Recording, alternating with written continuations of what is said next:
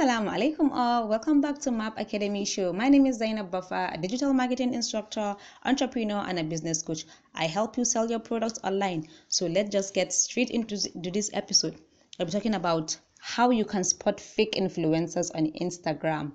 Yes, there are lots and lots and lots of people on Instagram that are trying to be that they call themselves influencers some are so called influencers, some are real influencers, and some are fake influencers. There are micro and macro influencers also. So, how can you spot these fake influencers? Because as business owners, at times we tend to work with them in order to promote our business, in order to promote our product. So, you have to have this knowledge, you have to have these tips in order for you not to waste your money while advertising with these influencers as you all know, everybody is trying to cheat the algorithm right now. Everybody is trying to have so many followers by all means. People are buying fake followers, people are buying fake likes, fake engagement, like fake everything. Everything is just fake on their page. You see someone with 100,000 followers, and that 100,000 followers, maybe 90,000 followers are fake. They are inactive. What I mean by fake is they are inactive page those inst- those followers they don't they, they, they, they did not follow them willingly. They bought them using like cheat um some cheat hacks. So now let's roast them please. Allow me to roast. Atonamsa city like allow me to tell you how you can actually spot these fake influencers. Number one check their followers page you know when you go to their everyone's page akwai followers akwai following. So go to their go to the followers and then go through their followers. Not all tunda maybe suna da yawa sun kai dubu like just few randomly check their followers um, check their followers page and see if that account is active or not. Za ku ga zero ba su da ma post zero. They don't follow anybody. Maybe they follow few the account is private like all those irin wa'annan spammy spammy um, abubuwan. Then in kuka irin wa'annan da yawa a followers in one particular influencer that you, you are trying to intend to work with then mark that kusa x guda ɗaya tukunna. Then the second tip is to check their engagement rate. There was a time I saw someone with 34,000 followers and she was trying to sell something, sell her courses. She was trying to drive people to her website to buy her courses.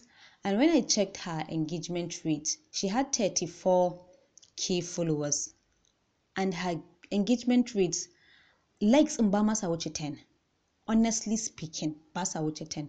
2 likes, 6 likes, 7 likes, 5 likes on almost all her posts and she's trying to sell something to you. So wannan ya kawai ne tunani na kai let me just go through her followers. I went through her followers page and guess what? They're all inactive.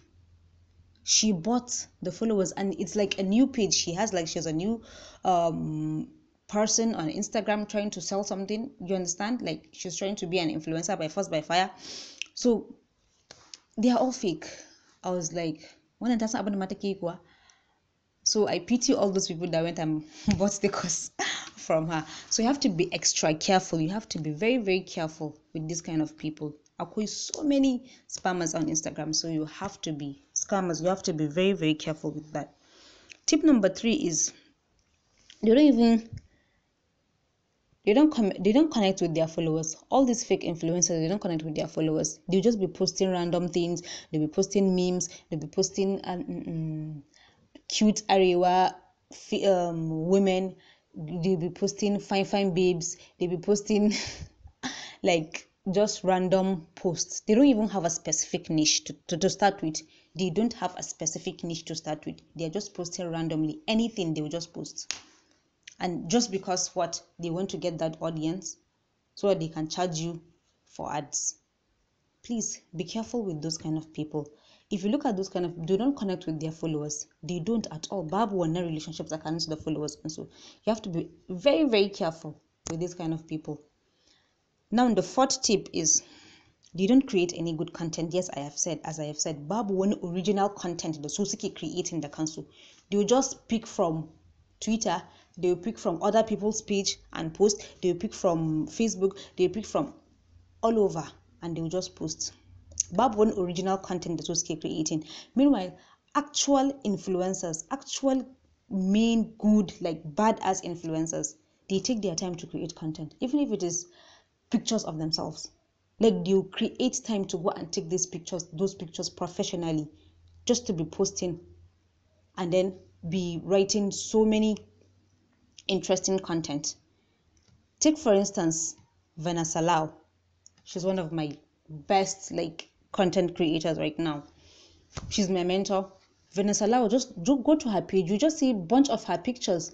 But go to the content and see. Go to the caption sorry and see the kind of content she's making there.